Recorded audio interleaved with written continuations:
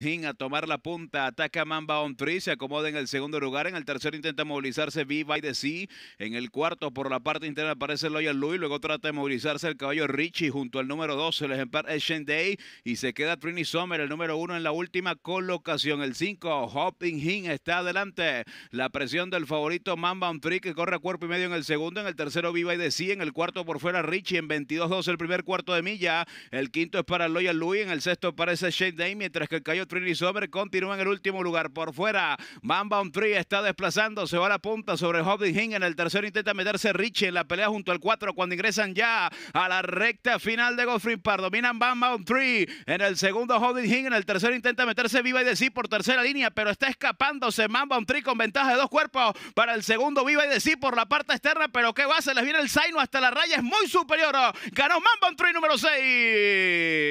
En el segundo, el 4 Viva y Decir. Tercero, Richie.